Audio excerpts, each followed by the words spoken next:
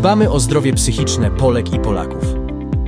Ministerstwo Zdrowia przeznaczy ponad 4 miliardy złotych na rozwój infrastruktury, opieki psychiatrycznej i leczenie uzależnień dzieci, młodzieży oraz osób dorosłych.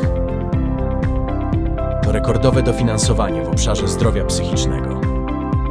Polkom i Polakom należy się pomoc od państwa, szczególnie w tych najtrudniejszych momentach. My to gwarantujemy.